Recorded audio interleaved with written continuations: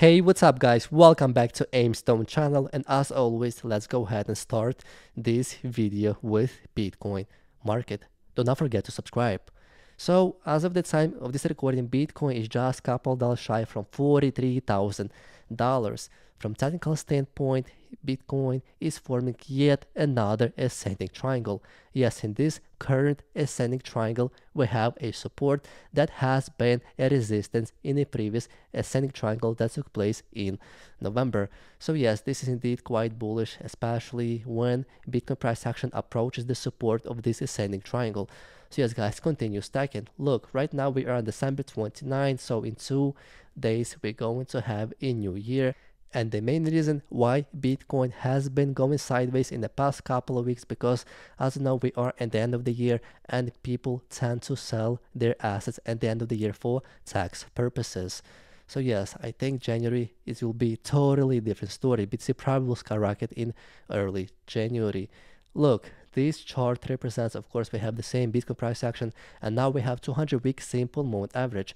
200 week simple moving average, my humble opinion, is the most important moving average in Bitcoin charts. And right now, 200 weeks simple moving average is slightly below $30,000, while Bitcoin price is around 43k. So technically, we have a big delta. Delta is more than $13,000, and we have not seen such a large delta in a long period of time. So this is definitely a bullish indicator. Let's zoom out a bit because I found some interesting patterns. Let's go back all the way to 2016 and prior to that we had that massive 2014-2015 bear market. Yes, that was vicious one where Bitcoin literally dropped by almost like 87%, something like that. It dropped from like 1,100 bucks all the way to $200. But as soon as Bitcoin halving took place in 2016, Bitcoin was on the verge of breaking out higher. However, a couple of months before Bitcoin halving, Bitcoin actually was 35% down from its previous all-time high. And as soon as BTC broke that resistance of 35%, Bitcoin literally skyrocketed. And something similar actually played out after the third Bitcoin halving that took place in May 2020. Back then, Bitcoin was at around $9,000. And then once again, we had that vicious bear market where Bitcoin dropped by 85%. But then in uh, mid 2020, Bitcoin recovered, especially after the Bitcoin halving. But Bitcoin was still down by 30% from its previous all-time high that was slightly below $20,000. And as soon as BTC broke that resistance, Bitcoin skyrocketed as well. Uh, look, this time around, we are seeing something similar. So right now, Bitcoin was like $43,000. So technically, we're still down like 35% from its all-time high. However, where Bitcoin is going to be like 50k, we will be down by 30%. As soon as Bitcoin breaks that resistance of $50,000, Bitcoin will skyrocket. So yes, look guys, keep stacking sats because you do not want to miss out when Bitcoin will be like three, four hundred thousand dollars, and you're going to say to yourself, "Hey, what did I do where Bitcoin was at forty thousand dollars?" Okay guys, moving on. Bitcoin Fear Greed Index. Today we had greed, but we are 65. Relatively lower where we back yesterday. Yesterday we were at 73 and yesterday Bitcoin price was like slightly below 43k. Right now we are at around 43k but over the midnight this fear index was updated and so basically the price was more or less the same and the main reason why i think bitcoin fear index today is lower than it was back yesterday because market got tired from sideways consolidation market wants to see new high but it is what it is. Look, when Bitcoin dips, this is great opportunity to stack more sets. Another Bitcoin market sentiment, and that of course would be Bitcoin Google Trend.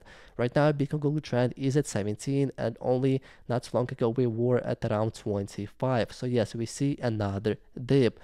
Look, prior to 2020, massive bull market, we had these three more or less corrections. So far, we see only two. Look, when the third one will happen, that will be a great indication that the bull market is around the corner. However, I would not go with that as thesis so far because, as you know, Bitcoin spot most likely will be approved in the next couple of days. So when Bitcoin spot will be approved in the next couple of days, I will not be surprised if Bitcoin will double in price. Right now we are 43k. Imagine Bitcoin will be nearly $90,000 in just a matter of days. oh man, that would be insane. So yes, guys, continue stacking. Okay, guys, let's move on. Just in, Walmart has followed Costco in selling gold bars to retailers. And this is indeed fantastic news because retailers and just general public will have access to real assets, to real precious metals. When will they do to Bitcoin? I think it's going to happen after Bitcoin spot ETF will be approved and this is going to happen in 2024. Yes, I remember when Costco was selling gold, they literally sold out in just minutes. I think we will see something similar in Walmart. Okay, let's move on. Bitcoin price was at $4 back in 2011 when this guy said this. Bitcoin will do to banks what email did to post office or what Netflix did to blockbusters or what iPhone did to digital cameras. Yes, 100% technology improves every single day, and Bitcoin is a new monetary technology. Okay, let's move on. Just in, US Congressman Emmer is now co-leading the SEC Stabilizer Act so we can fire Gary Gensler. Gensler's SEC side with Wall Street, not Main Street. Well, to be quite frankly, yes, we do not like Gary Gensler, and he is, of course, very corrupt individual with SEC. But whenever Gary Gensler will be replaced with somebody else, that person will surely help Wall Street at first and then Main Street. They do not even help Main Street. They stop Main Street from investing. Okay, moving on. Just in, Bitcoin will open a universe of pensions insurance to Bitcoin according to Goldman Sachs. Look, 100%. Imagine if you are uh, old, 66 whatever, you're receiving pensions, and one day you'll be receiving pension in Bitcoin. Of course, this is not going to happen, but if pension funds would hold some amount of BTC, that would be very bullish because pension funds is a literally huge market. Pension funds, insurance, hedge funds, you name it. Moving on, countdown 11 days until Bitcoin ETF approval. Yes, most likely Bitcoin spot ETF will be approved by January 10, 2024. Look, man, 11 days, 10 days. Look, continue stacking because when once again Bitcoin spot ETF will be approved, I will not be surprised if Bitcoin will double in price. Moving on, SEC's Bitcoin ETF update deadline today. Cash creation versus in kind. Let's take a look. As a cryptocurrency community awaiting the potential approval of Bitcoin spot ETF in the United States in January, today marks a significant deadline. The US Security and Exchange Commission said last week that spot Bitcoin ETF applicants must file S1 amendment by December 29, which is of course today. The regulator also required them to sign an agreement with authorized participant and sort out cash creation redemption model it favors. The deadline means that today the community will likely find out which spot Bitcoin ETF files out of 14 applications could be in the first wave of potential spot Bitcoin ETF approval, which is largely expected in early January. And of course, as I know, this is going to be cash creation redemption model, unfortunately, which means you can only redeem your Bitcoin when you bought that ETF with cash. On the flip side, in kind is totally different game. It means that if you bought that ETF in the first place, if you want to sell it, you can redeem it with Bitcoin, which is different, but both of those uh, models would skyrocket the Bitcoin price. Okay guys, let's change gear a bit, take a look at some interesting Bitcoin charts. This first chart represents good priced in dollars. Yes, as you know, special oil literally skyrocketed from 2011 and so is everything else because of inflation. However, if you look at the following chart, if you take a look at the goods price in Bitcoin, we see a totally different picture. As you can see, oil and everything else, beef, cars, apparel, drop relatively to Bitcoin. Since 2011, they're probably down by like 99% comparing to Bitcoin. So of course, Bitcoin is the king. Let me remind you guys, if you have your car, if you have, for example, a house, if you have a money in the stock market, you're basically shorting Bitcoin because Bitcoin, in my humble opinion, the fastest horse in the race. Moving on, as we know that when Bitcoin literally skyrocketed in the past couple of months, Bitcoin fees increased respectively, and so is Ethereum fees. Right now, Bitcoin average fees around $24, which is quite expensive. Yes, no longer you cannot buy like coffee with Bitcoin because it's not uh, practical. But on the flip side, if you want to send million bucks from one country to another, you will have to pay a huge amount of money if you want to use like Western Union or any other centralized entity. But Bitcoin $24 to send million bucks, that is very tiny. Okay guys, and lastly, here is the last chart from Plan B. Like clockwork, according to Plan he thinks that Bitcoin stock to flow works like clockwork. Well, look, we are at 43k and his average price around uh, $55,000. We're not so far away. Now we are less than one standard deviation away from the mean, which is quite good. But he actually fucked up with multiple models and actually one of them worked. Of course, he had second model that predicted the BTC would be about $100,000 back in 2021. And of course, he had third model, I think it calls cross asset model that predicted $300,000 back in 2021. So it seems like one of them was correct out of the three. So maybe plan B just got lucky that he, these stocks to flow actually works. But let's see what is going to happen in the future. And lastly, let's take a look at this quick video where Nick Carter, a Castle Island Venture founding partner, explains what he thinks is going to happen Bitcoin next year. Let's take a look. When you look at how much the market has been anticipating that Bitcoin ETF and how much it's rallied, how much is that already priced in, and how much more can future catalysts like a halving add to the price of Bitcoin into 2024?